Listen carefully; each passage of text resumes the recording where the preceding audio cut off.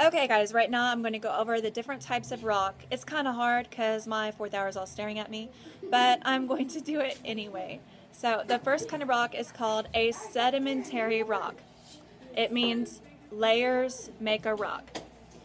The second type of rock is called metamorphic rock. You add heat and pressure to make a rock. Then there are two kinds of igneous rock. The first kind is called intrusive igneous. We think about intrusive meaning in. So here's the earth, like people can walk on top. Under this is under the earth. Magma melts and hardens in the earth. It makes a rock. Intrusive igneous rock. Extrusive igneous rock is different because you still have the magma, but it gets out for some reason through a volcano or fissure and it explodes out. It is now called magma. You guys messed me up. It is now called lava. Comes out. Extrusive igneous rock. Melted rock in the earth is magma. Melted rock out of the earth is lava. The last part is back to sedimentary rock, and so it would be like this. Um, if I had a metamorphic rock, then that means I added heat and pressure to it if I wanted to change my metamorphic rock into a sedimentary rock, I would have to go through five stages. The first one is weathering. This is breaking down rock. It can be done by wind, rain, or waves. After we weather it and break it down, it erodes. These sediments get moved somewhere else.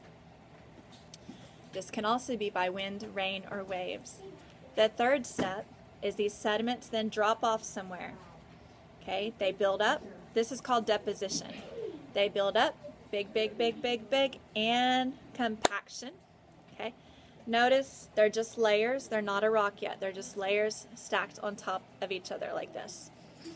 After compaction, the last step is called cementation. It's what makes everything a rock. So cementation glues the rock together. One more time as a review. Sedimentary rock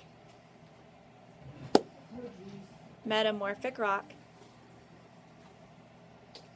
intrusive igneous rock, extrusive igneous rock. Good. Five steps to make a sedimentary rock. The first one is weathering, erosion, deposition, compaction, and cementation. I wish I could show you everybody else doing this in class right now. It's kind of funny. But work on that, you'll get it. Okay, bye.